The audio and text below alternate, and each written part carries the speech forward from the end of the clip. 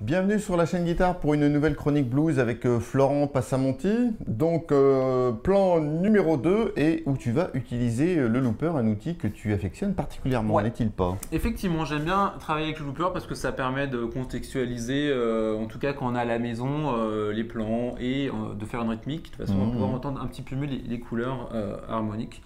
Et justement, dans ce plan-là, en fait, c'est un 4 mesures, un petit plan de 4 mesures avec euh, bah, les, les- les trois accords principaux du blues, le premier degré, le quatrième et le cinquième. Donc, comme on- on- ce plan-là, on va être en la majeur, donc premier degré, le la, Mhm. le quatrième, Le ré, le ré, et le cinquième, le mi. Voilà. Et on finit avec le la de façon à retomber sur nos pattes. Et donc ça nous donne ça. Donc j'ai enregistré préalablement euh, ma rythmique. Et on y va. 1, 2,